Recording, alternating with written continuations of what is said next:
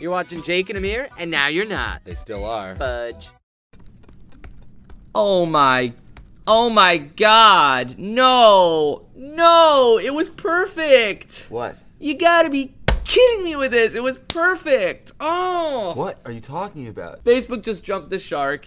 Okay, they had a perfect game going and they, they overdid it. Okay, trust me, I follow a lot of design tumblrs, so I know when I see things that are overdone and they overdid it. What's wrong with it? It's different, which means it's bad, which means I'm pissed. Okay, the big three. Those all sound like one thing. No, I've kept quiet till now, but I'm gonna make a Facebook group about it. You didn't keep quiet at all. You found out about it 10 seconds ago and you were yelling about it ever since. And looking at your Facebook profile, it looks like, wow, yeah, you protested every single Facebook redesign. I deleted those groups. First of all, you didn't. Second of all, that doesn't change my point. Look at this first group, okay? Four years ago. 10,000 strong against the Facebook Newsfeed, newsfeed. yeah. Facebook was flawless and now it's garbage. They had a perfect game going. It was garbage. Yeah, they jumped the shark. Fine. Six months later, you wrote, Holy carp, why change perfection? Facebook is without flaw, but new design change makes it official. They just jumped the shark. A hundred thousand strong against this abomination. Yeah, that group was partly political. Right. And guess what?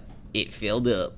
no, it didn't. No members. You're not even a member. Jesus Christ, next one. Delete the Facebook graffiti wall. It's a joke and a fool. Two weeks later, one million strong to bring back graffiti wall. I know I abused it, but I miss it. Straight up, they jumped the carp when they lost the graffiti wall. Like, Let me ask you a question. Do you notice a pattern? yeah, Facebook jumps the freaking shark, okay? Every time they have a perfect game going, they freaking sell out. They jump the carp. Oh my god, your voice is painful. Look, here's another thing, man. Every single week you try to start a national deactivate Facebook day.